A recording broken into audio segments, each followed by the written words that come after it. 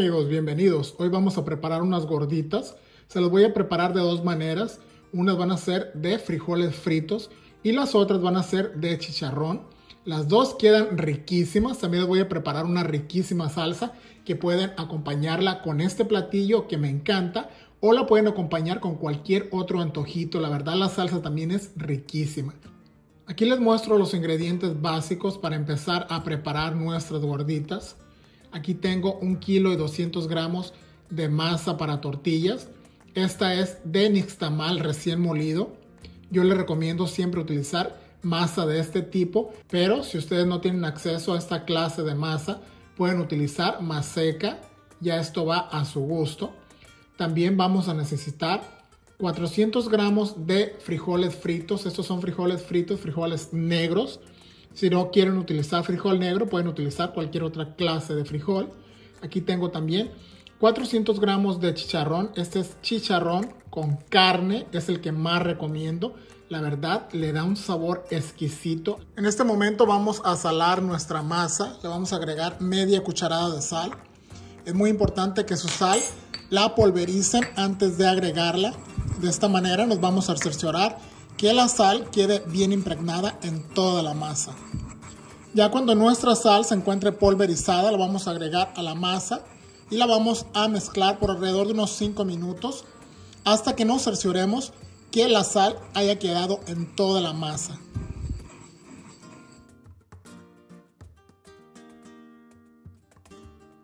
Ya tenemos todo listo para empezar a preparar nuestras gorditas. Miren, así es como debe quedar el chicharrón, en trocitos bien pequeños. Ahora vamos a tomar un poco de masa. A mí me gusta medir la masa. Tomo esta taza medidora de media taza, pero ya esto va a tu gusto si la quieres tomar al tanteo. Yo lo hago de esta manera para que todas las gorditas me queden del mismo tamaño.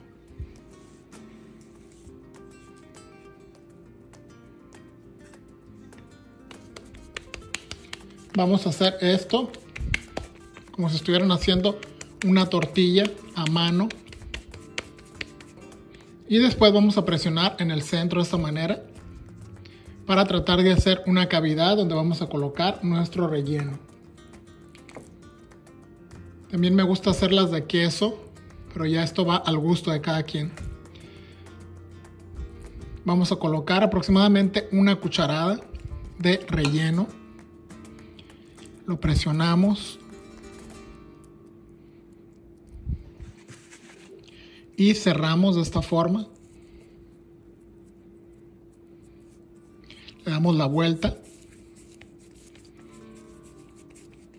Y con mucho cuidado volvemos a hacer el mismo paso hasta crear una gordita. Y aquí tenemos nuestra primer gordita. Miren, ese es el grosor que debe llevar ni tan delgada ni tan gruesa. Ya tenemos la primera. A esta base ya le coloqué un poquito de aceite vegetal para que no se me vayan a pegar y poderlas llevar fácil al aceite. Ahora les voy a mostrar otro método que es con bolsas plásticas.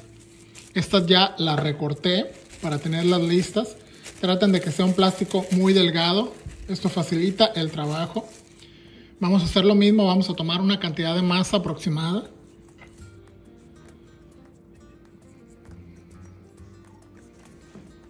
Le damos forma redonda primero. Después vamos a hacer esto. Vamos a colocar un poquito. Esta va a ser de chicharrón.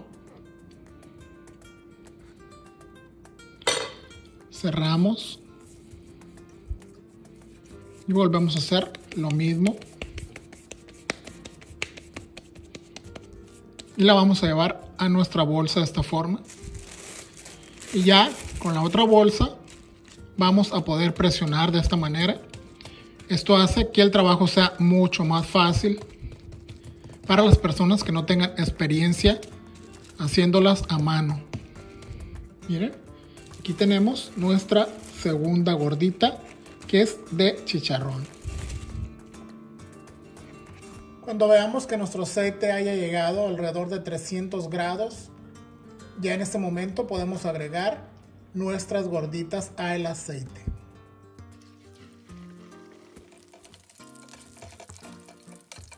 Estos son los ingredientes para preparar nuestra riquísima salsa de tomate.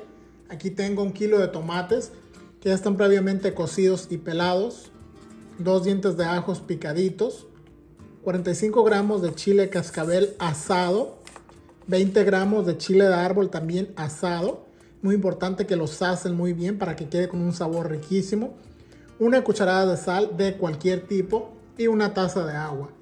Yo pico el ajo porque me gusta licuar la salsa a velocidad baja y de esta manera algunas veces pueden quedar pedazos de ajos grandes. Es por eso que lo pico previamente. Vamos a llevar todos estos ingredientes al vaso de la licuadora y los vamos a licuar a velocidad baja hasta que veamos que tenga una bonita consistencia. Aquí les muestro cómo yo las abro con un cuchillo de sierra bien afilado. Vamos a empezar a hacer esto. Y dándole la vuelta. Y ya con esto nuestras gorditas quedan listas. Miren nada más. Qué belleza. Son una cosa perfecta. Miren nada más. Miren amigos, ya tenemos todo listo. Ya abrí mis gorditas para tenerlas listas. Miren nada más. Qué belleza. Miren qué cosa tan hermosa. Cómo queda el chicharrón.